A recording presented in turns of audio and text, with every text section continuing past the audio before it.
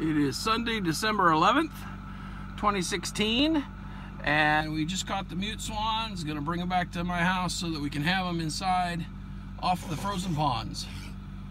So we'll see how it goes.